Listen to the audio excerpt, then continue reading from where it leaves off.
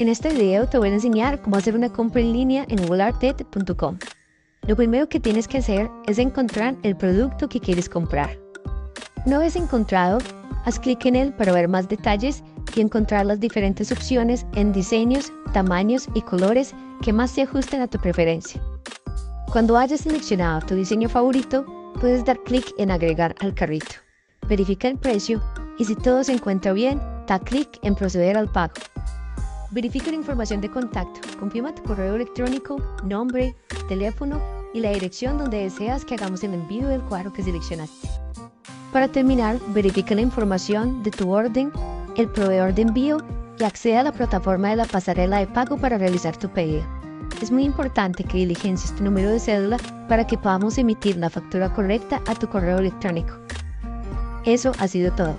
En muy poco tiempo tendrás el cuadro en la dirección que has seleccionado.